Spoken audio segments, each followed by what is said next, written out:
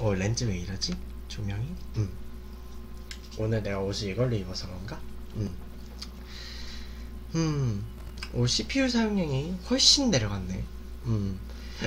근데 잠깐만요. 조명을 음. 이게 옷 색깔 때문에 그런 건가? 음. 음, 오늘따라 약간 그 약간 음. 그 빛이 좀 달라 보이는데. 자 일단은 그 방송을 켜, 켰고요. 방송 켰고 한번 좀 얘기를 준비를 해보도록 할게요. 음 일단 제가 집에 오자마자 그 방송을 바로 켠 거라서 잠깐만 좀 세팅을 좀 할게요. 음 일단 오늘은요 소품들이 좀 있어요. 소품들이 좀 있고요. 내가 살다 살다 막 이런 소품까지만 준비해 보는 거는 진짜 그 되게 이런 일 흔치 않거든요, 제가. 음, 이런 일 되게 흔치 않는데 그 할로윈의 역사 소품이 있음 해가지고 잠깐만요. 음, 사람 올 때까지 약간 좀 제가 좀 뭐냐 켜놓고 띄워놓고 뭐 있으면 되겠네요. 음. 자, 좀 이거 좀 꽂고 뭐 이런 것도 있어요. 다 뺐지? 음.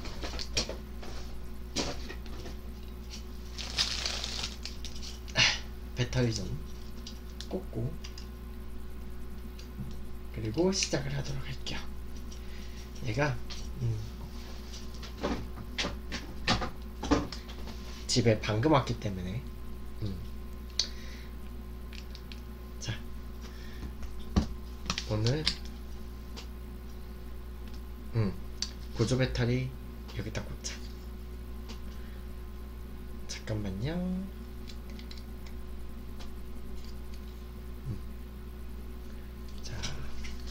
여기다 한번 넣고 꽂을게요. 여기다 꽂고 자 열고 자 대본이 있는데 잠깐만요. 저 양말 좀 벗을게요. 양말 좀 벗고 슉 나중에 갖다가 빼면 되니까. 응.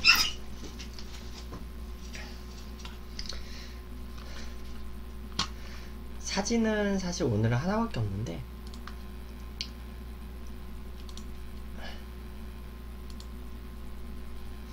음. 할로윈의 역사 음.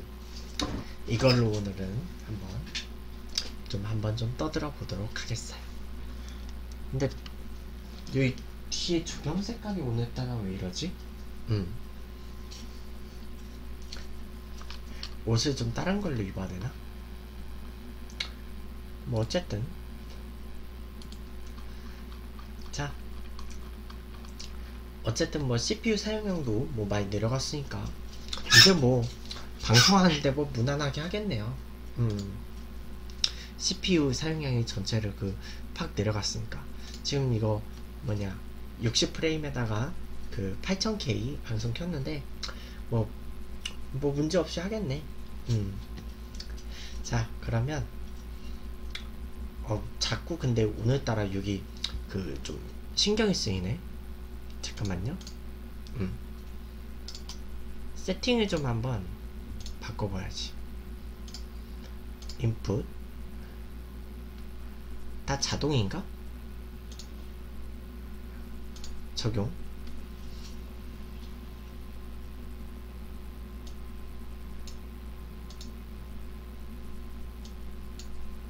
아 화이트 밸런스.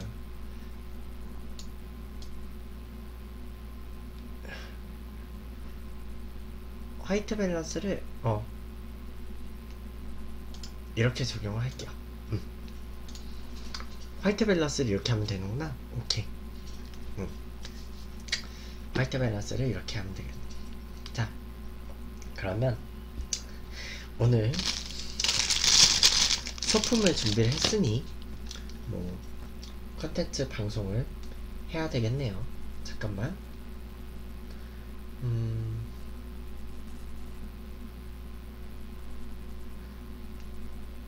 잠깐만 뭐 좀 확인 좀 할게요. 확인을 어 어.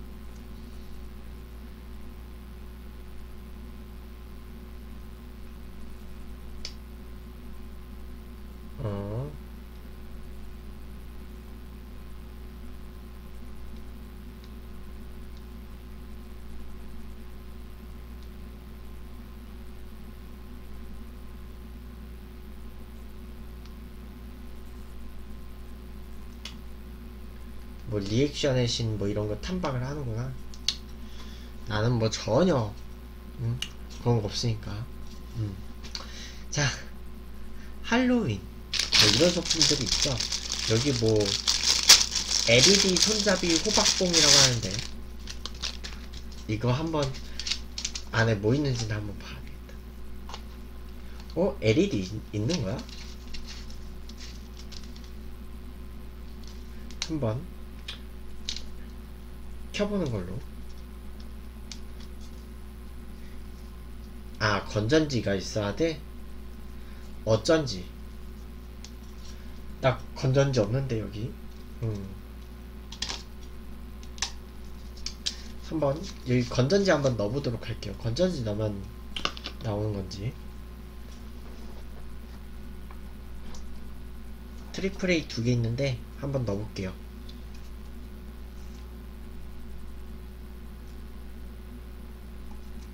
아 이게 triple A 아니고 double A구나. 그건 못 넣겠다. 아니 내가 여기 그 triple A 그 건전지가 많은 이유가 이거 무선 마우스. 노트북에 있는 무선 마우스 때문에 그 triple A가 많은 거였는데 그 못 넣게 생겼네요. 음.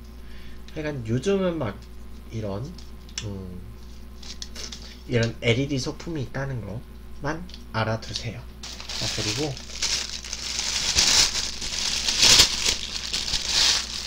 뭐든 어떻게든 써먹기 위해서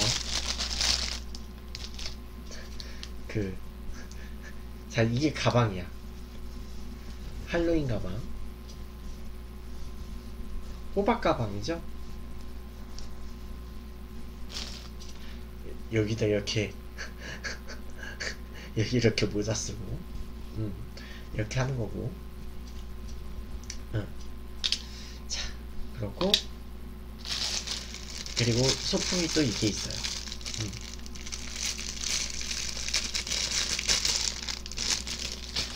할로윈의 역사 그리고 소품으로 분장하기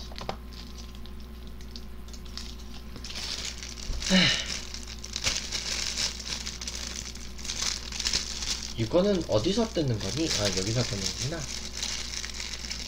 음, 여기서 뜯는 걸로 할게요.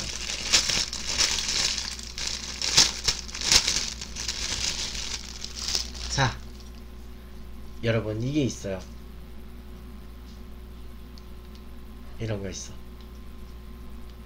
한번 이거를 그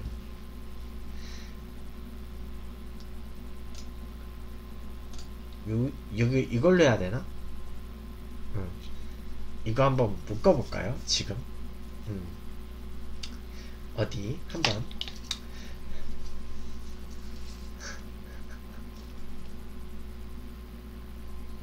여기가 코인 건 맞는데 음. 이렇게 하고 오 내가 머리가 크구나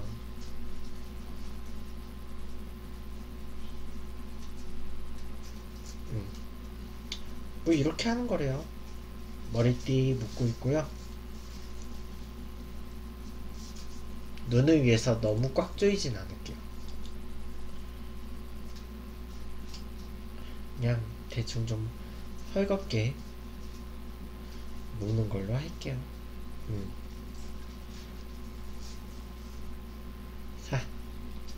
그리고 안경을 여기다가 이렇게 얹으면. 아. 이게 눈이 눌린다. 음. 이거를 안되겠네. 다시 풀어 풀어가지고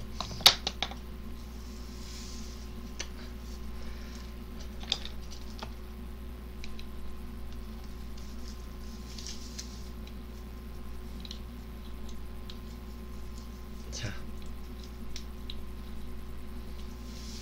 아, 이거 오늘 굉장히 많이 꼬이네.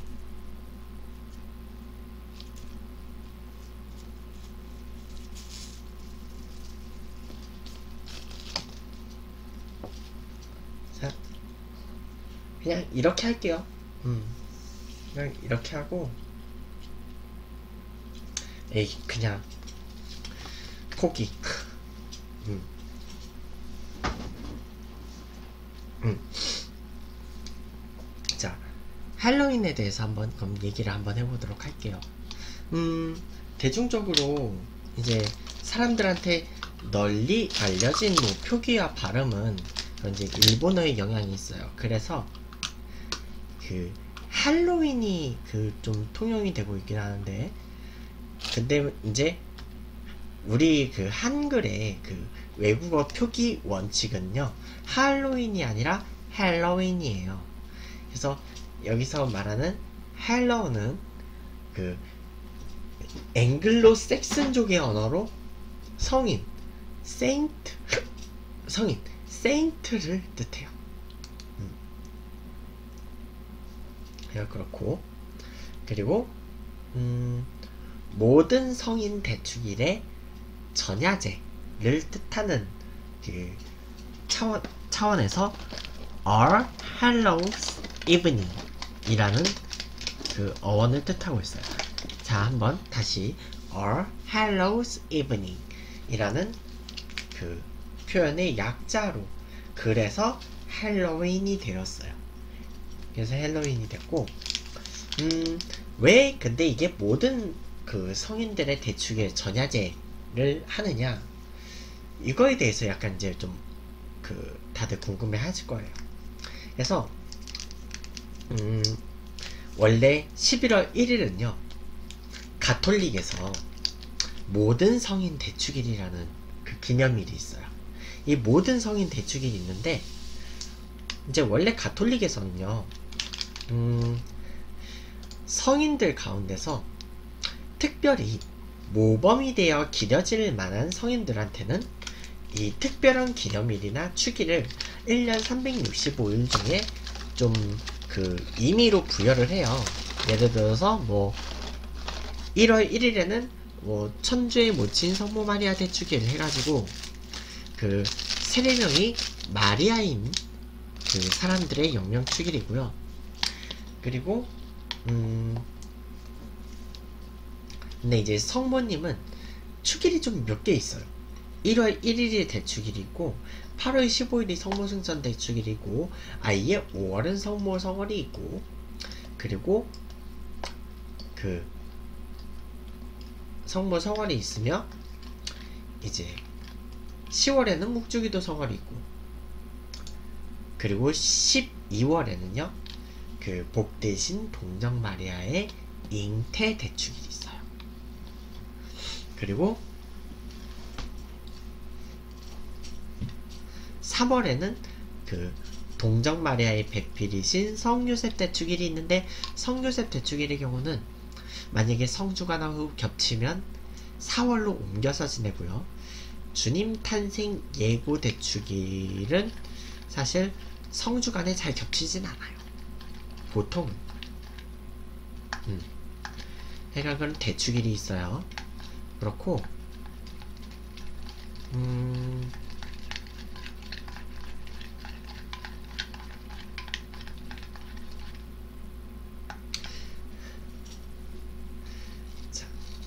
하여간 그런 대축일들이 있는데 이제 그런 대축일 근데 이제 그런 대축일들은 그 특정 성인들은 진짜 1년에 똑같은 날 그 정해져 있어요. 근데 가톨릭 성인이 365명만 있겠어요? 계속 늘어나고 있는데 우리나라만 해도 순교 성인이 103명인데 그러니까 그 성인들의 그 대축일을 넣지 못하는 날짜들이 있어. 그 넣지 못하는 날짜에 그 뭐냐 아예 몰아가지고 이밖에 알아내지 못한 다른 성인들의 그 축일을 한꺼번에 11월 1일로 모아서 모든 성인 대축일을 주는 거예요. 음, 왜 11월 11월이냐? 보통 11월은 음, 사실 가톨릭 전례력에서 마지막 달이에요. 11월이. 대림 시기가 이제 전례력으로 새해가 되고요. 그래서 음, 대부분은 성인이 죽은 날을 기념을 하고 순교 성인들의 경우도 순교한 날을 기념을 해서 축일을 지내게 돼요. 그런데 이제 성인이 죽은 날은 그 성인이 천상에서 태어난 날이라고 여기거든요. 그런데 이제 축일이 알려지지 않거나 이 정해지지 않은 성인들이 있어요. 그래서 그런 사람들을 11월 1일에 한꺼번에 묶어서 기념을 해요. 그게 모든 성인 대축일이고요. 그 전야제가 바로 이 헬로윈을 뜻하는 거예요. 자, 음, 이 헬로윈의 역사는 이제 고대 켈트족까지 올라가요. 그 켈트족이 진짜 고대의 그 유럽의 그 약간 그 일종의 유목민족? 근데 주, 주, 아시아에는 유목민족이 있지만 유럽에는요 정착 세대의 민족이에요. 정착한 민족인데 그 원래 정착하고 살아요. 그 정착을 하고 사는데 원래 그 서유럽 쪽이 그러니까 서북 서북부 유럽 쪽이 켈트족이었고 동북부 유럽이 저기 발트 쪽이 게르만족이었어요. 그래서 고대 이제 로마 제국도 켈트족하고 게르만족을 이제 그 항상 그 상대하는 데를 그 경계를 했었거든요. 켈트족은 어느 정도 통제가 됐어. 그런데 게르만족 때문에 결국은 서로마 제국 멸망했죠. 물론 게르만족 같은 경우는 켈트족과는 다르게 켈트족은 한때 로마시까지 공격을 했던 적이 있지만 게르만족의 경우는 훈족에 의해서 본래 살던 터전을 잃었어요. 그래서 로마로 넘어오게 된 거야. 그래서 망한 거예요. 음. 그래서 음, 켈트족 켈트족은 근데 죽음과 유령을 찬양하는 이 삼하인 축제에서 이 헬, 헬로윈을 따왔다는 얘기가 있는데 원래는 이 켈트족 축제와 직접적인 연관은 없어요. 직접적인 연관은 없고 보통 11월 초는 이 추분과 동지의 중간 시기로 그 겨울의 시작 정도 되는 그런 시기로 그 인식이 되고 있어요. 그래서 이제 우리나 그 24절기가 있죠. 24절기 그러니까 우리나라의 절기예요. 24절기 중에 입동이 11월 7일 정도 있고 로마에서도 11월 1일부터 이제 좀 약간 겨울로 가요. 이제 가톨릭에서 모든 성인 대축일이 원래는 5월 13일이었어요.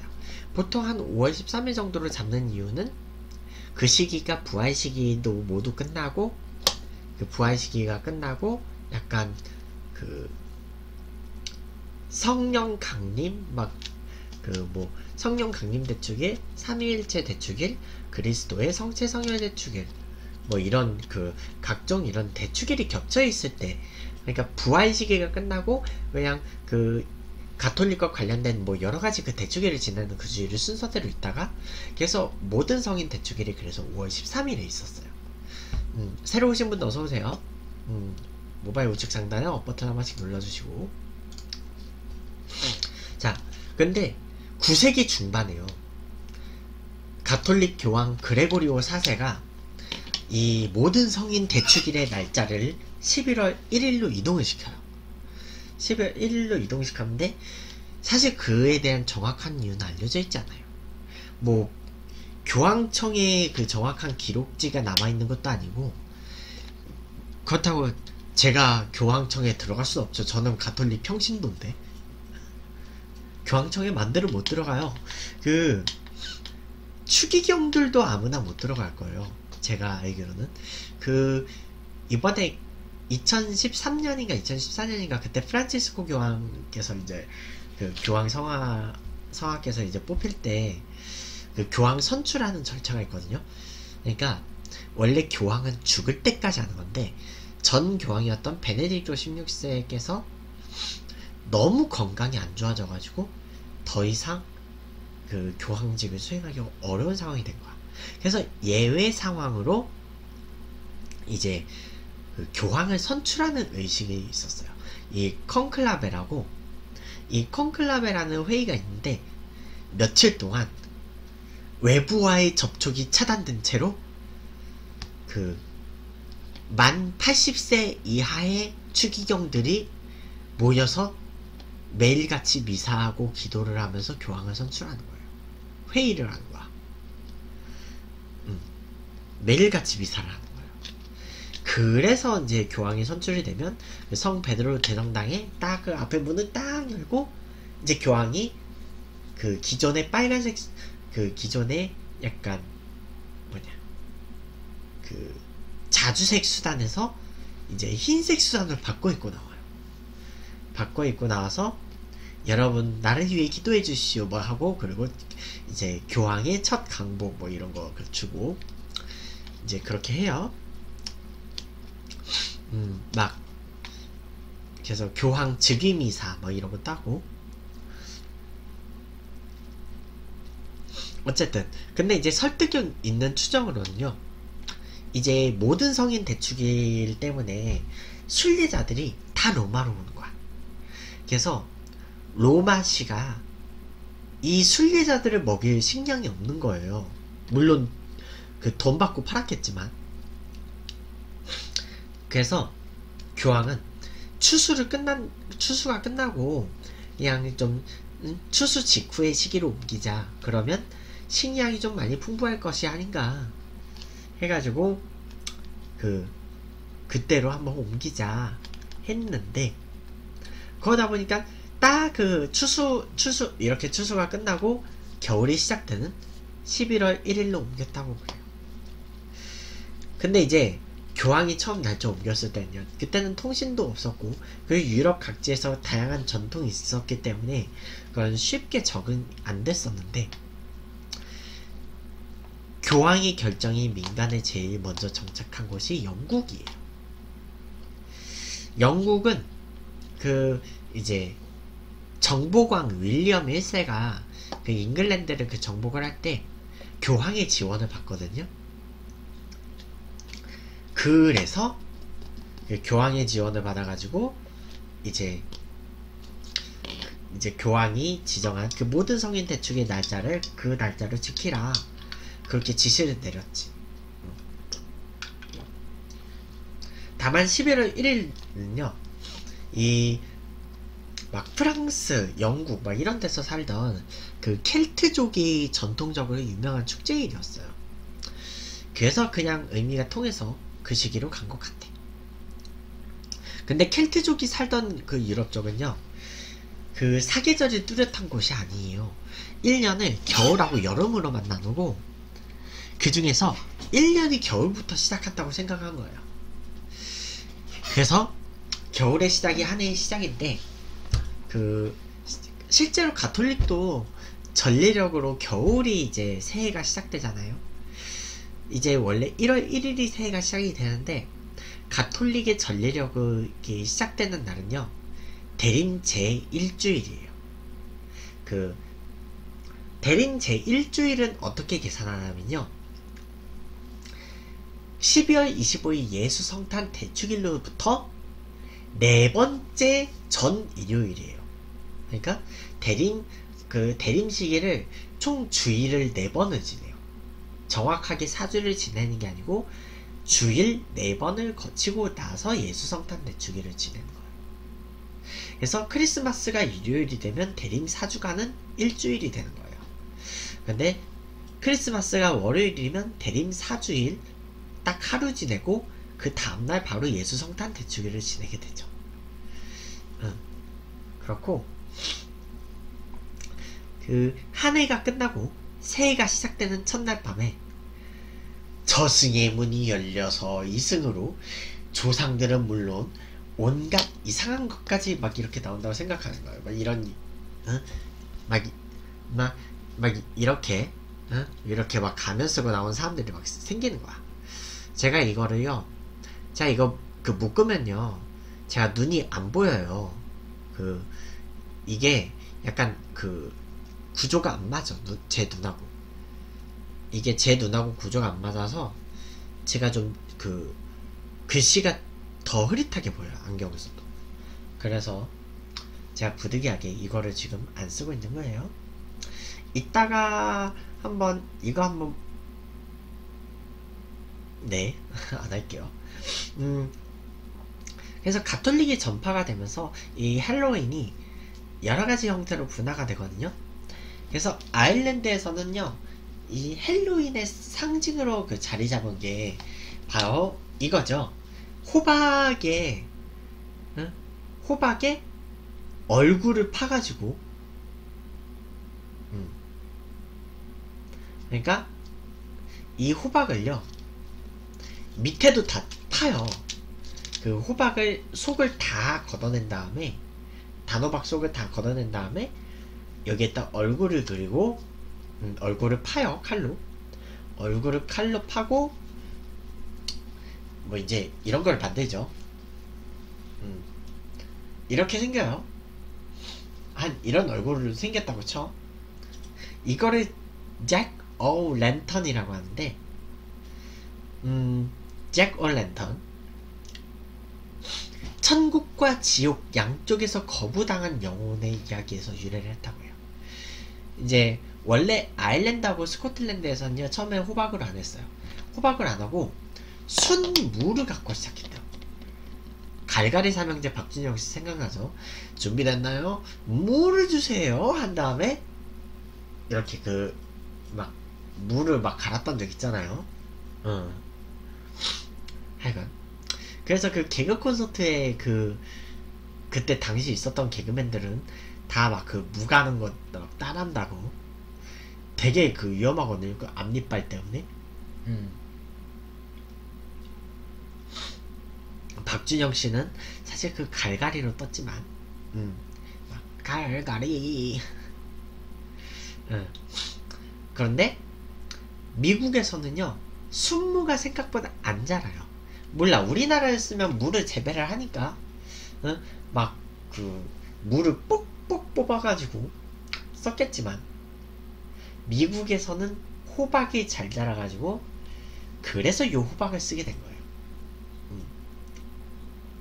헬로윈 때 사실 그 술 마시고 파티하는 그런 전통은 남미에서 시작해요. 남미에서 시작해서 북미로 올라온 것으로 추정이 되고요. 원래 이게 좀 근데 이제 남미에서 남미에서 원래는 그 전통이 있었어요. 그런 그 영혼들을 그 기리는 그런 의례가 있었는데 남미가 이 주로 스페인이나 포르투갈의 식민지가 되면서 음 남미는 이제 가톨릭 문화의 융화가. 가톨릭 문화가 융화가 되면서 이제 무덤에 가서 죽은 친구나 친지들을 기리면서 거기 가서 술상을 펴고 응? 술을 막 퍼마시고 막 그렇게 노는 날이 된 거야. 그리고 그게 북미로 전파가 된 거야. 멕시코에서는요, 이 11월 1일을 죽은 자의 날이라고 해서 원래 기리는 풍습이 있어요. 그래서 음, 근데 멕시코는요, 그, 죽은 자의 날을 기념하는 게, 그, 10월 31일, 그, 전야제 하루만으로 지내진 않고요. 그, 11월 1일에 모든 성인 대축일이고, 그리고 11월 2, 2일이 그 세상의 모든 영혼들 그러니까 세상을 떠난 모든 이가 하느님의 자비로 평화의 안식을 얻게 하소서 그 위령들을 위한 그 기도가 있거든요. 11월이 그래서 위령성월이에요. 11월 2일은 이제 위령의 날이라고 해가지고 그 영, 그 이제 세상을 떠난 영혼들을 위해서 합동 위령 미사를 지내요.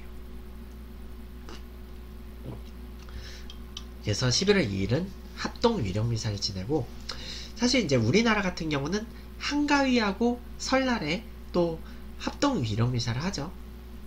음. 그렇고요.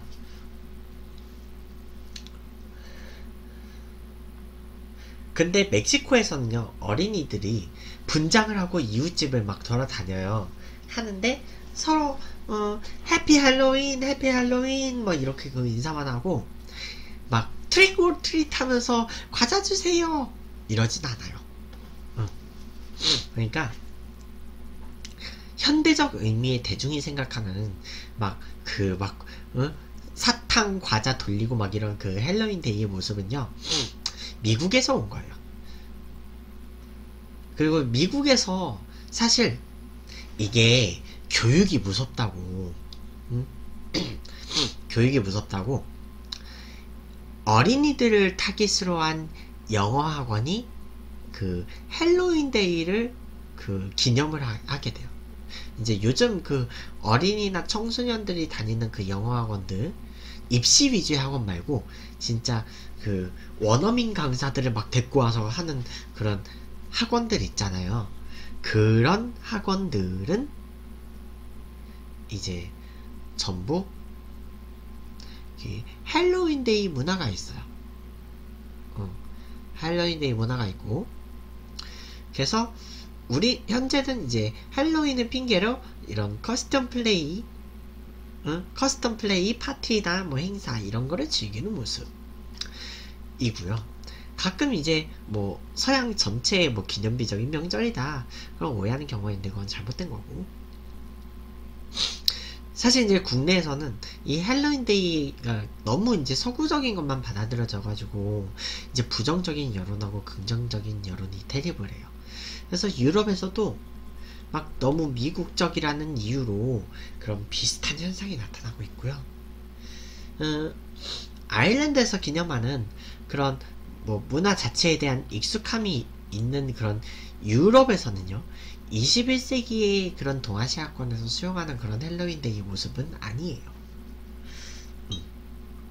자, 그래서 우리가 가장 많이 생각하는 파티의 기원, 미국에서 온 거죠. 음. 미국에서 온 거고, 음, 저도 이 헬로윈 데이를요, 어릴 때 뭐 영어 관련해서 뭘 배우면서 알게 됐어요. 그래서 미국이 아일랜드계 아일랜드 출신의 이민들을 받아들이면서 그 이제 그때 아일랜드를 통해서 헬로윈이라는 문화가 정착이 된 거예요.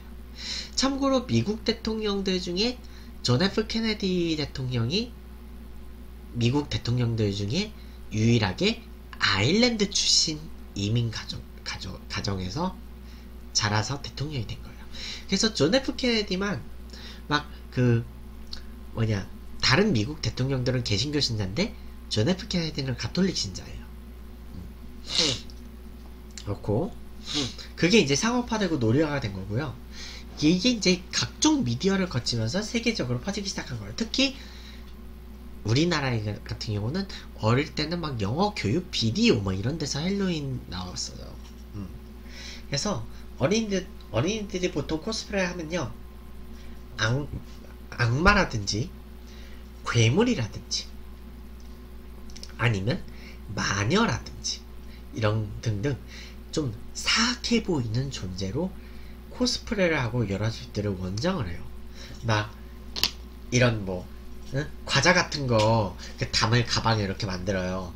이렇게 그 담을 가방을 만들고 막 방문을 한다. 그래서 똑똑똑 해서 문 열면 trick or treat 응? 뭐냐 treat 하면 응? trick trick 속임수죠 속임수를 당하지 않을 거면 treat 한턱 쏴라. 어? 그런 뜻에서 그 나온 거예요. 보통은 가정집 위주로 잘 방문을 하고 가게는 안 가요. 물론 이제 일본 대도시에서는요 아예 가게들이 옛다 해놓고 준비를 해놓기는 해요.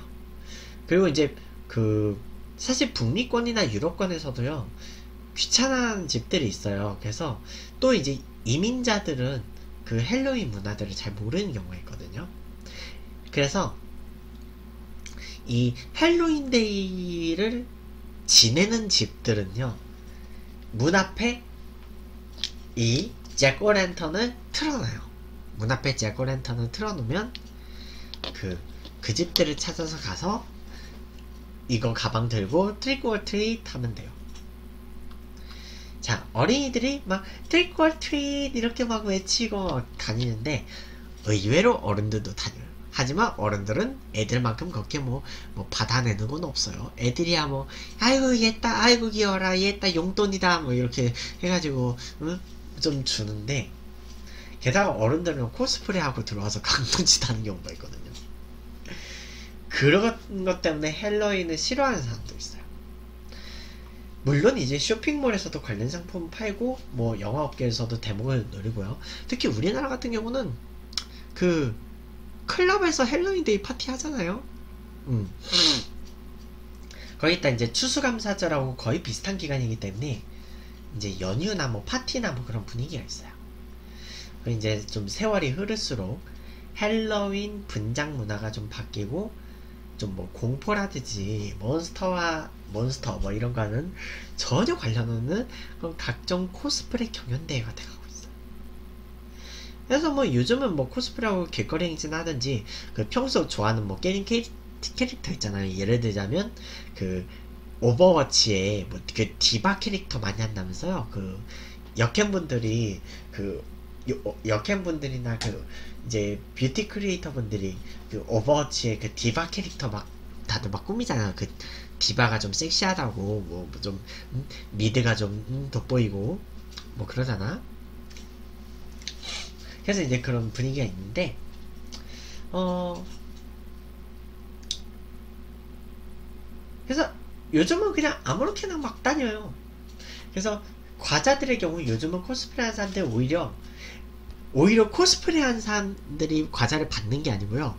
코스프레 한 사람들이 막 그 이 가방에다가 막 과자를 들고 그 이태원 길거리를 돌아다녀요. 그래서 돌아다니다가 일반인들이 저기 사진 찍어주세요 하면 그때 이제 셀카봉 들고 기념사진 찰칵 찍고 요즘은 감사의 의미로 여기서 자 사진 찍었으니까 그 대가를 주는 거야. 그런 경우가 있어요. 음. 그래서 어린이들에게는 그런 상징적 의미가 크고요. 단순하게 뭐 전달이나 교환이나 뭐 감사 표현 의미를 넘어가지고 사실 어린이들은요 과자하고 사탕 그 의상의 의미를 넘어서 이 코스프레하고 돌아다니면서 스스로 힘들게 발품 팔아서 얻었다는 그런 보상감 노동의 의미로 그 되는 거예요. 단순하게 그 과자 사탕 이런 게 아니고 그런 의미를 지녀요. 음. 그 사실 그 동양권에서도 설날에 그 복주머니 그 들고 다니면서 그 세뱃돈 받는 거 있잖아요. 음. 뭐냐 동양에서도 설날에 세뱃돈을 받으니까 어떠, 어쩌면 뭐 그거는 뭐 문화가 비슷하다고 볼 수가 있겠네요. 그래서 뭐 예를 들자면 그 막 호박 들고 트리코 트릿 하면 그 막 각 집의 아줌마들이 여기 그 이렇게 사탕을 까가지고 해피 할로윈 하면서 여기서 사탕을 몇 개를 꺼내서 이렇게 바구니에 다 떨어 그 이렇게 바구니에 나눠줘요. 지금 저는 그냥 급한 대로 이 말랑카우 준비해가지고 이렇게 사탕을 줘요. 이 가방에다가 이렇게. 그래서 그 어린이들은 이제 이거를 이렇게 받으면요. 이제 어딘가를 이제 자기들끼리 놀러 가요. 놀러 가서 이제 먹은 이제 먹을 거를 이제 깨서 또 먹고 놀아요. 음, 먹고 놀아. 어쨌든 그렇게 먹고 놀고요. 어, 어른들도 요즘은 뭐 파티하고 코스프레 대회 하죠. 그 아마 오늘 밤은 그렇게 활발하진 않을 건데 아마 크, 헬로 요즘은 헬로윈데이 때 클럽 가면 다들 코스프레 하고 와요. 음, 그럼 분위기가 크고요. 어떤 곳은 아예 그냥 지역이나 지자체 아니면 뭐 어디 기관에서 이런 데서 그냥 아예 헬로윈 행사를 개최를 해버려요. 응. 아예 다 먹고 마, 마시고 즐기라고. 자, 자 그러면 자 이걸 이따가 여기다 넣었다가 그 먹도록 하고요. 자, 대한민국에서의 헬로윈. 그 대한민국에서는요. 사실 1990년대까지만 하더라도 음, 미국의 음, 미국에 아 이런 이런 게 있구나 응? 이거 정도만 알려져 있었지 그 실제로 하는 일은 거의 없었어요. 보통 좀 그냥 그 해외 유학파들 있잖아요. 해외에서 거주하다가 귀국한 사람들이나 그러니까 교포 출신들 아니면 그 우리나라에 와 있는 외국 사람들끼리 그냥 조촐하게 분장을 하고 서로의 집에 놀러 가서 과거를 추억하는 뭐 그냥 그 정도였어요. 그러다가 이제 21세기가 되면서 일부 영어 학원에서 이제 원어민 강사가 많은 곳은 헬로윈 파티를 치르게 돼요. 그래서 원어민 강사가 있는 곳들은 다 헬로윈 파티를 준비를 해요. 그러면서 그게 계기가 돼서 좀 퍼져나가게 되는 거죠. 음.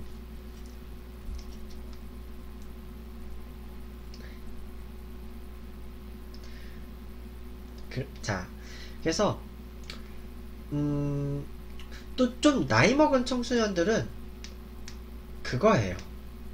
그 무엇이냐? 조금 나이 먹은 청소년들은 그 밤에 막 떠들고 놀면서 막 두루마리 휴지를 뿌리거나 뭐 파티를 열고 그런 뭐 만우절 같은 그런 장난을 막 쳐요. 그래서 어른들도 뭐 코스프레 대회하고 막 술 퍼마시고 다 해요. 음.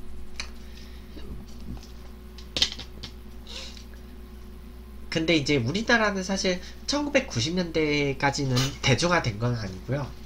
그때는 또 무분별한 서구 행사를 따라하는 거냐 이런 언론에서 비난 수준의 지적이 나왔어.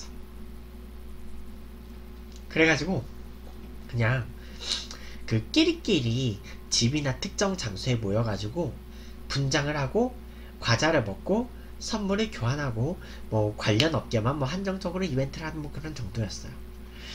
근데 이제 2010년 이후에 다시 늘어나가지고 요즘 그 클럽에서는 헬로윈데이 때 그 뭐냐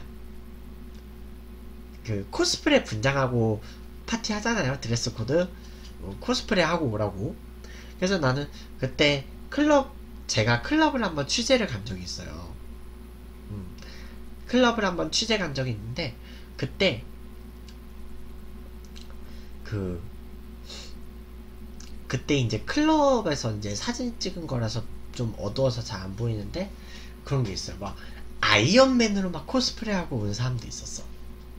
그냥 자기가 좋아하는 캐릭터 이런 걸 코스프레 하는 거야. 근데 이제 대한민국에서는 그런 가정집 돌아다니면서 음, 음 이렇게 바구니 들고 trick or treat 뭐 이렇게 하진 않아요. 자 그렇고요. 그 헬로윈데이라고 뭐 과자나 사탕 이런 거를 뭐 사다 놓는 집이 일단 별로 없죠. 음, 그래서 우리나라는 이렇게 음, 뭐 이런 그 헬로윈 가방 들고 응? 가가지고 똑똑 한 다음에 뭐 trick or treat 뭐 이러진 않잖아. 음. 그쵸. 지금 미국이 현지 시각으로 헬로윈 데이죠. 음. 그래서 근데 이제 우리나라 같은 경우는 그렇게까지 아직 그렇게 큰 대중화가 되진 않았어요. 근데 이제 언론에서 되게 헬로윈 데이를 그 비판하는 거는요. 그 약간 굳이 우리가 그, 그, 굳이 해외 명절을 기념할 필요가 있냐? 응?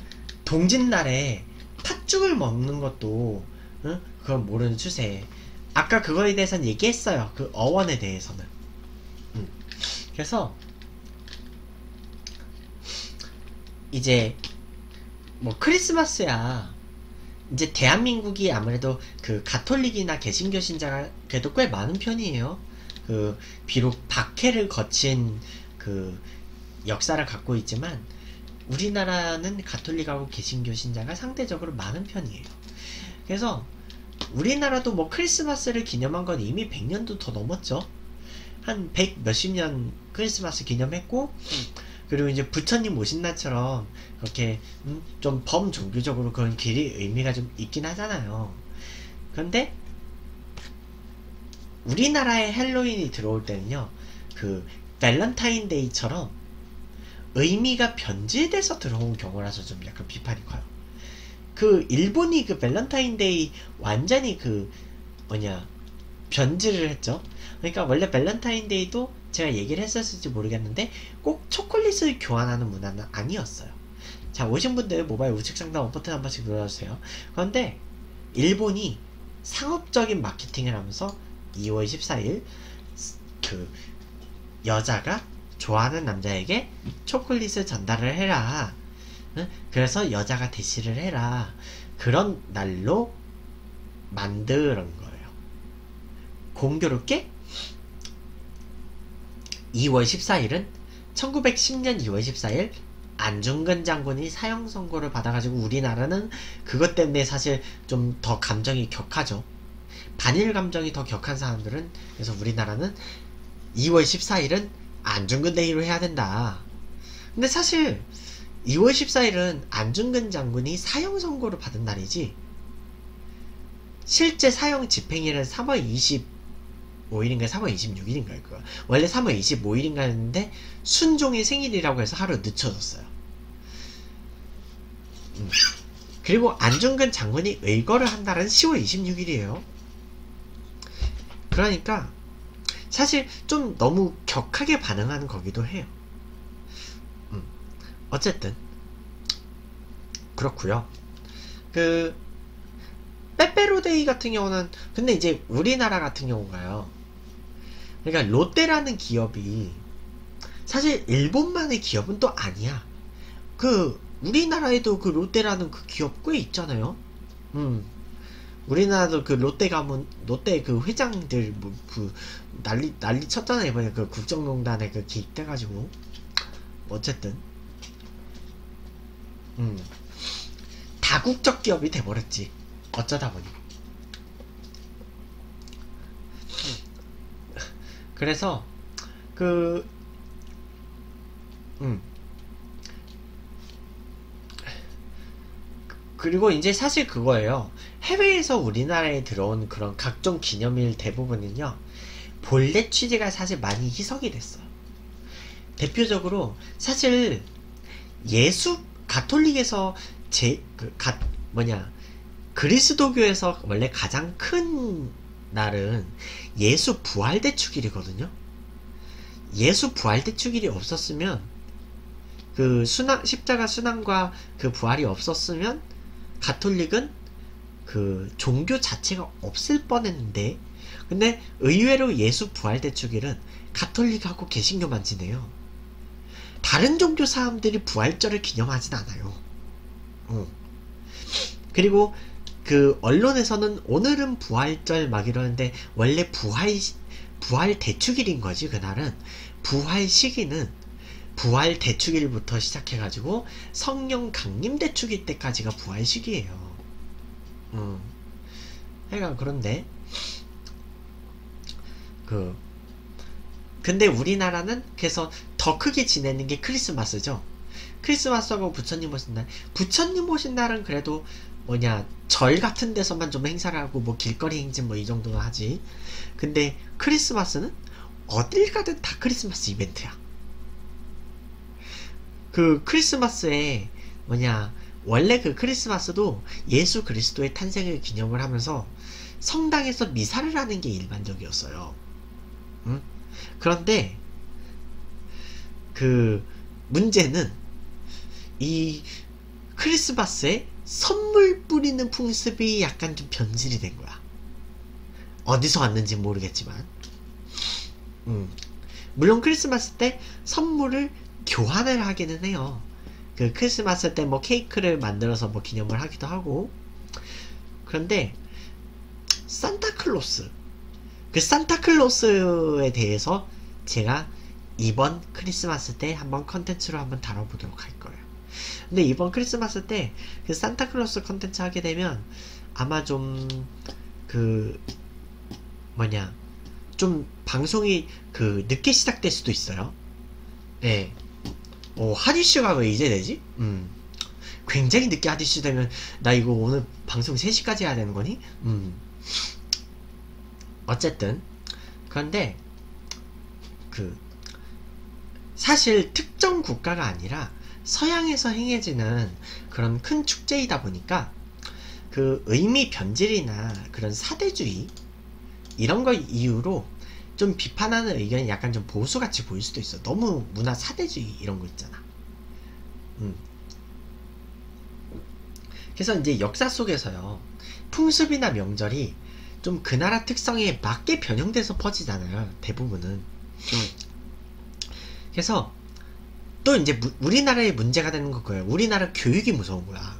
교육이 무서운 이유가 그 이제 어린이나 한 중학생들까지는 그런 그 영어 회화학원 이런 데를 다니잖아요. 왜 영어 회화학원을 다니면 그 원어민 강사들이 쫙 포진이 돼 있잖아요. 그런 데서 할로윈 데이를 지내기도 하고 그리고 이제 요즘은 아예 유치원부터 영어 가르치는 유치원 있죠. 영어 유치원. 그래서 그건 영어 유치원 가면요. 이제 그 영어 유치원에서 행사를 치러요. 그 영어 유치원에서 행사를 치르기 때문에 그 학부모들이 보면 돈이 한 몇만 원 수준으로 나가.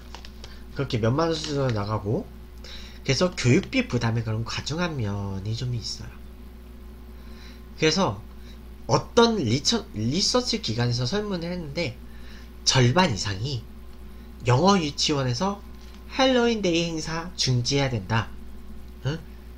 애들한테 우리 전통의 그 명절 의미부터 가르쳐야지 왜 헬로윈이냐. 응? 아무리 원어민 강사가 있어도 약간 그런 의견들이 좀 있어요. 응. 그래서 이제 실제 생활에서는 그렇게 이제 헬로윈을 그 기념하는 사람은 별로 없어요. 별로 없는데 이상하게 그 요즘 여러분들 이 모바일 게임 많이 하잖아요. 그 모바일 게임 하는 그 분들은 아시겠지만 그 헬로윈 시기에 뭔가 이벤트를 많이 해요. 저 이제 모바일 게임 중에 몬스터 슈퍼리그를 하는데 거기서도요. 헬로윈 데이를 그 기념을 해가지고 이 호박 호박을 기반으로 한 스타몬이 있어요. 몬스터가 있어요.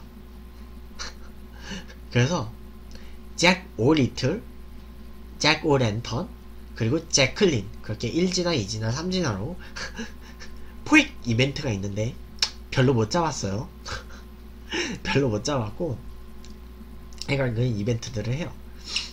이벤트들 하고 그냥 뭐 젊은 세대들한테는 아마 오늘이 오늘이 아마 화요일 밤 수요일 새벽이 아니었으면 아마 좀 그 불금이었으면 진짜 많이 놀았을 거예요.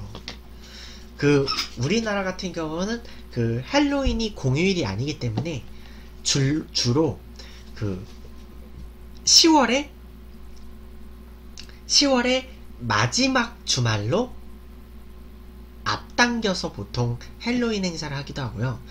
저는 그 저는 헬로윈 행사를요 예전에 그 블로그 취재 때문에 11월 첫 번째 주말에 그 뭐냐 혹시 클럽 강남의 클럽 이름 중에 The A라고 아세요? 그 르네상스 호텔 사거리에 있는 그 르네상스 호텔 사거리 있죠. 그 언주로 그 테헤란로하고 언주로 거기에 있는데 이제 거기 클럽에 제가 취재를 갔어요. 르네상스 호텔 옆에 그 클럽에 취재 갔는데 그래서 막 들썩들썩 거리면서 막 사진 찍고 음? 그리고 이제 그 후기 블로그에 쓰고 뭐 그런 적이 있었죠. 음. 젊은이들 그래서 이제 뭐 외국인들이 이태원에 많잖아요. 이태원 프리덤, 음, 막, 막, 이, 이태원 프리덤 하면서 막, 응? 이태원 가가지고 막 헬, 헬로윈 코스, 코스프레 하고, 아니면 뭐 젊은이들 많은 건 뭐 신촌이라든지 홍대 입구라든지 뭐 그런 데 가서 놀죠.